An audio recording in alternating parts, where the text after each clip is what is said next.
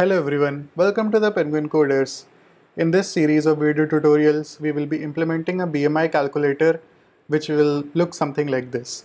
The layout of the application is very simple and has been done in a minimalistic way to accommodate the only the useful features of the application.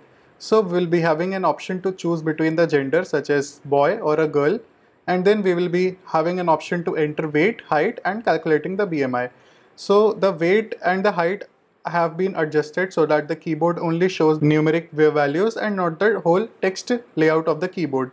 So I will enter the weight as suppose 60 kgs and the height should be entered in centimeters. So suppose if I enter 180 centimeters that is approximately equal to 6 feet of height and then if I choose for click on calculate your BMI button. It will say that my BMI is 18.52 and it's normal. So a text and the value number of the BMI would be displayed here. Also I will be given an option to calculate the BMI again which will reset all the values on the screen and let me input again the weight and the height of the user. So calculate BMI again and then everything will be resetted and we will be able to calculate it again.